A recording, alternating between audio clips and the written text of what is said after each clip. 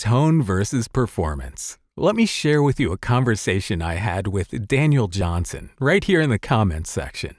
Because if you're not obsessing over these things as a voiceover artist, maybe it's time you should be.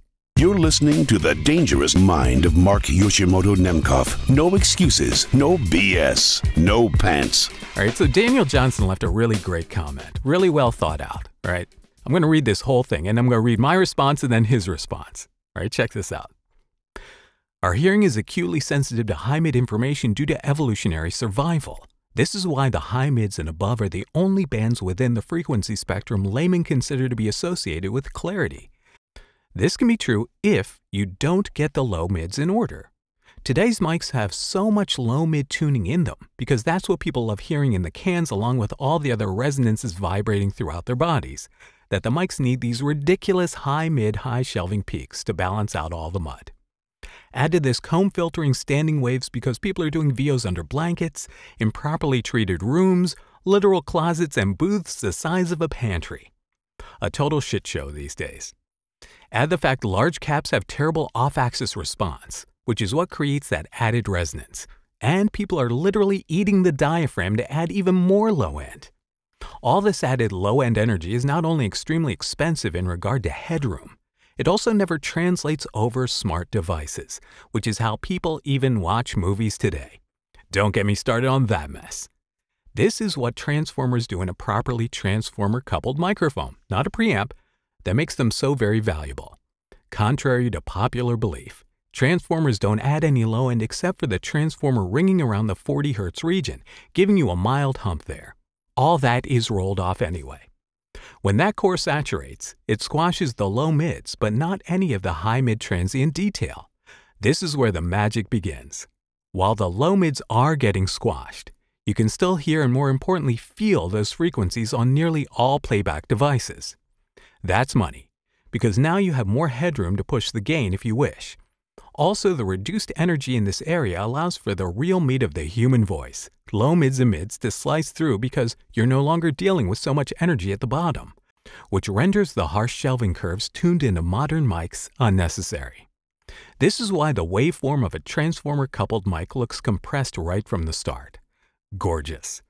And that's what stands up in a mix with less fader riding, while also sounding a touch glued in already. You truly hear this work at very low listening levels. But wait, there's more. Transformer ringing also occurs way up top, like 14 kHz and up, where all that lovely coveted air lives. If you put even the slightest peak up there with a shelf from any EQ, even plain or stock plugs, you'll get unparalleled dimension. The voice sounds almost 3D, like the person is standing right in front of you, with a stellar preamp and AD, of course. Euphonious would work, and a perceived difference untrained ears will hear, but can't place why it sounds so good, which doesn't matter to them. The biggest reason for the transformerless design push in mics especially is because high-quality transformers have always been expensive to make. And they're not getting any cheaper. Plus, when you remove the transformer, it allows you to make the full mic circuit surface mount, which is way cheaper than through-hole boards, which is all done by hand. This wasn't a problem for manufacturers in the past because everyone wasn't an influencer, had a podcast, told they had a great voice, and worked for Audible.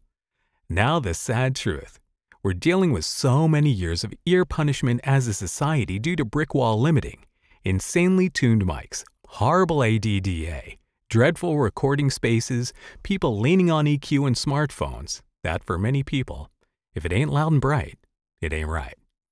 Enter the 416, the worst mic imaginable for voice in an enclosed space at close proximity. Nails on a chalkboard. Yes, I said it. But before I get beheaded in the comments, the 416 is the only affordable mic that does a good job of mimicking that transformer, low mid crunch, which does allow many people with insanely we need eat yesterday post production schedules to be very lazy when it comes to mixing. But you better have one hell of a good de-esser if you care about bleeding eardrums because it wasn't designed to be used near field, which is why the shelf is there. But many don't care because it's loud and bright. Print it. Next, if you get in front of a transformer coupled mic, not many still being made except for a few, no not the 87, with a transformerless preamp, and the equally critical and always overlooked high-end transparent AD, it will be the best sound you've had in your life. All right, I think that's an extremely well thought out comment. Now, let me read you my reply. Okay. Daniel, thank you for that. I completely agree, except that the thickness we perceive in the low end of a transformer based circuit is, I believe, typically due to hysteresis, causing a slight phase smear. But everything you describe speaks to tone, which is ultimately subjective in nature because not everyone responds to tone universally. Tone doesn't win auditions or keep clients rebooking you. The performance you capture does. And a good performance can be more easily recognized by the common listener than good tone. More so than ever, thanks to COVID forcing more sessions to be home based, coupled with more people recording from questionably treated spaces. What is acceptable tone wise is a wider swath than just even a couple years ago. As long as the performance is there, you can book work with bad tone. Now, I'm not saying tone isn't important, but it's not and shouldn't be considered the most important aspect of crafting VOs that pay the bills.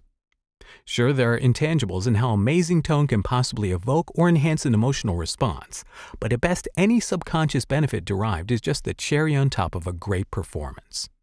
And honestly, I haven't seen any empirical evidence suggesting the importance of tone in VO, and any suggestion of such has to be seen as purely apocryphal in nature. We all want to sound like gods. We all want to be inspired by the sound of our own voices in our headphones. We all seek amazing tone. Personally, I've been on a VO tone quest for 10 years. But as I sit back and contemplate how many iterations of tone I've used over thousands of projects, some of that tone being regrettable in hindsight, I'm beginning to wonder if all I'm doing is chasing the tone dragon. Just from my personal experience, I've been complimented on my performances many multiples more than being complimented on my tone. Now, of course, again, this is singularly a VO based viewpoint, as what a transformer can add euphonically in harmonic relation to music has far more potential to create an emotional response in the listener. The lion's share of my regular work is commercials, where I have 30 seconds to convince you to heed a call to action by convincing you it's the solution you need whether you knew it or not. In those few sentences, I have a tiny handful of moments where I can manipulate the emotions of the listener using vocal nuance.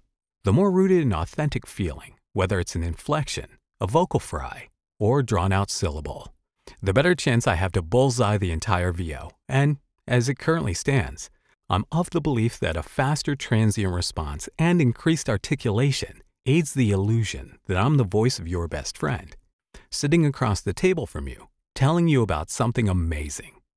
It's more intimate in a setting when we are peers.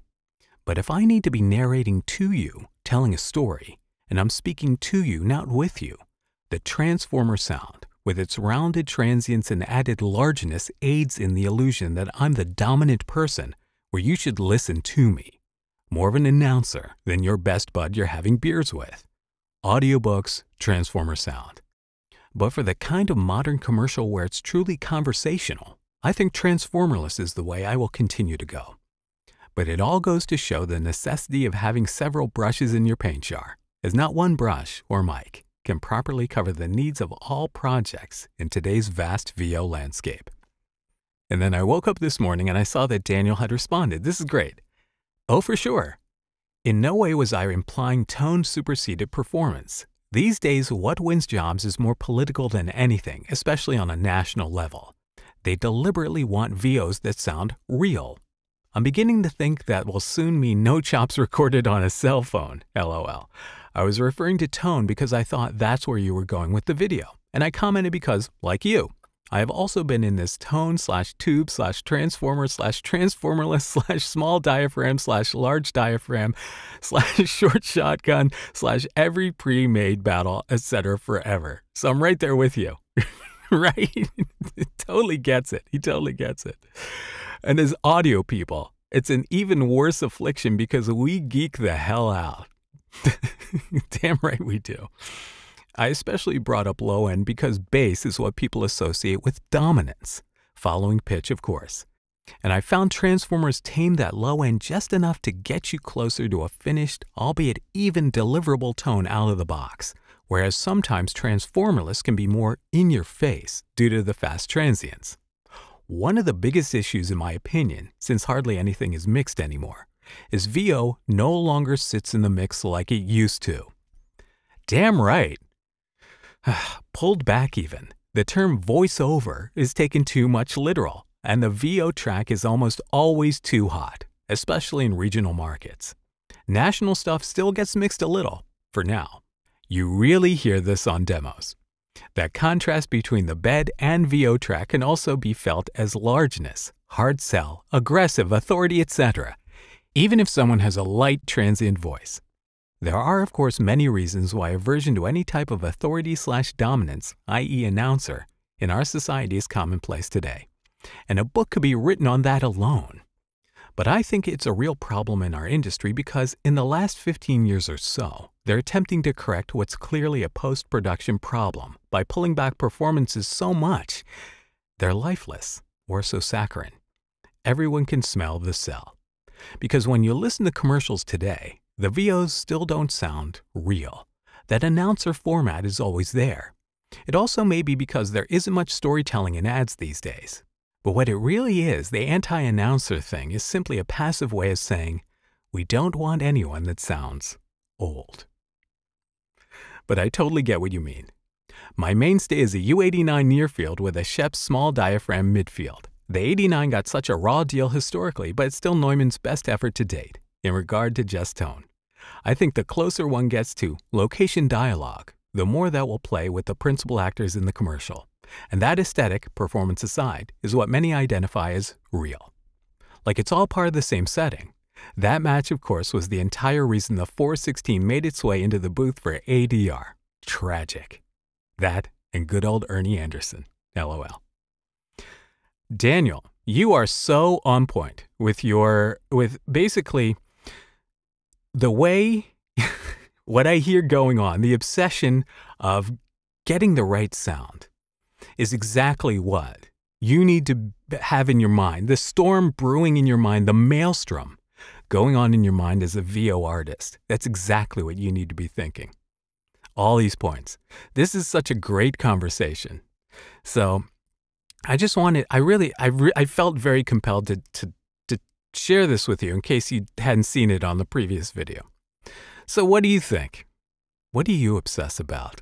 Tone, performance, something else? Your gear? Everything. You need to obsess about everything in VO, or you're not doing it right. All right. Okay. Let me know what you think. Until next time, this is Marc Yoshimoto Nemcoff, fading to black.